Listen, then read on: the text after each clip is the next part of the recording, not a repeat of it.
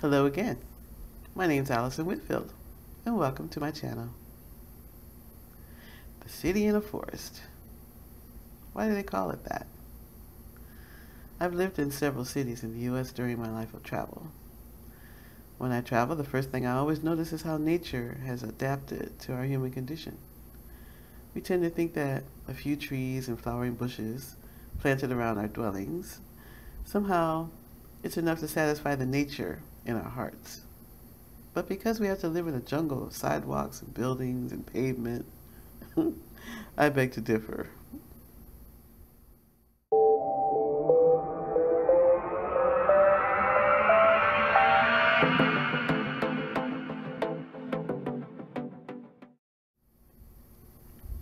Hey there.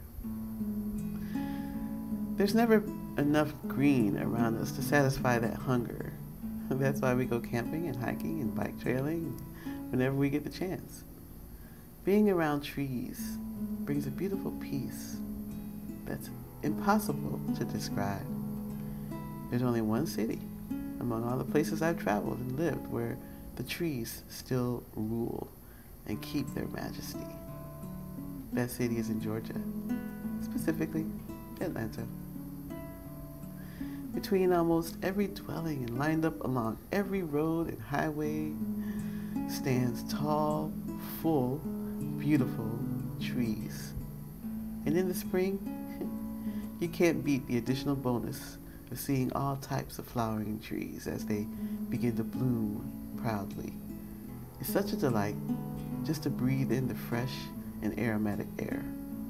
The magnolia, the Bradford pear, the tall Georgia pines, the blossoming peach. Mm-hmm.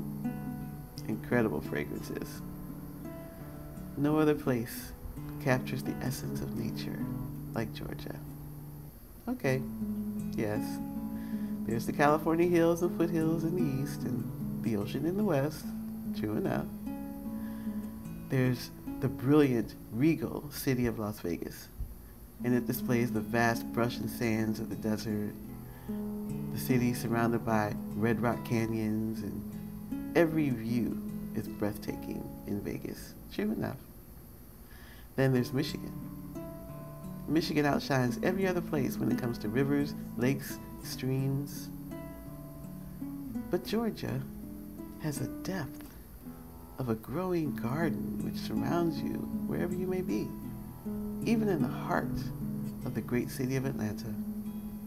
You don't have to travel to meet nature like you do in other cities. You just stand and look around. Thanks for sharing. Have a great day.